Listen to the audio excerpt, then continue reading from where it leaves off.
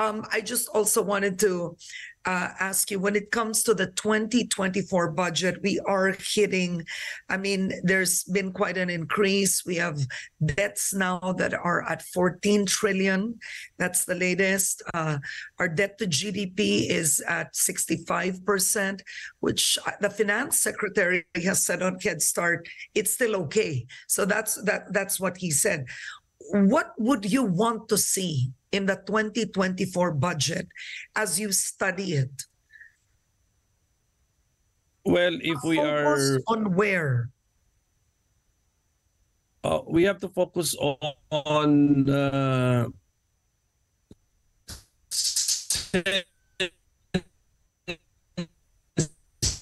sensible expenditures, uh, funds uh, to bloat the the amounts unnecessarily. Mm. So we we have to spend now on sensible items Yeah. and prioritize. So anong ibig sabihin ito? Priority pagkain. Doon na lang.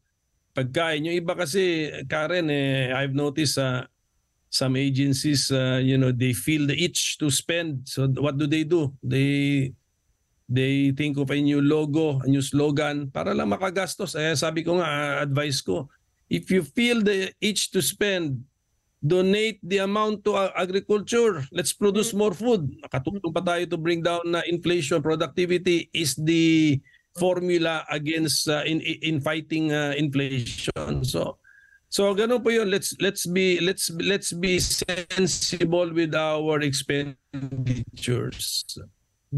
All right. Well, on that note, I want to thank you for joining me today. It's always an honor to have you on Head Start. Senate Minority Leader Koko Pimentel, maraming salamat po sa inyo, Senator. Salamat, salamat din Karen.